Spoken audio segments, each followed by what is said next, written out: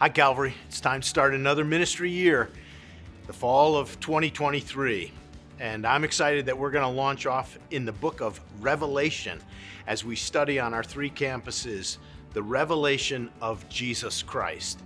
It's a book about him and about his authority and about his sovereignty, the one who is the beginning and the end, the Alpha and Omega. The book of Revelation has been thought by many people to be a science fiction novel, something really strange with symbols and images that are really hard to understand. But we're going to try to be united around its primary message. There is a Savior, Jesus Christ, who came into the world to make things right and is coming again. He's going to come again to be the king and authority over all. So the book of Revelation is going to call us to be ready in our own hearts, to be waiting for his return, and to be witnessing to others.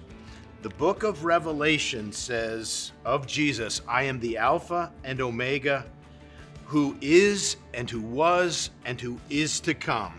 I'm the first and the last, the living one. I died, but I'm alive forever.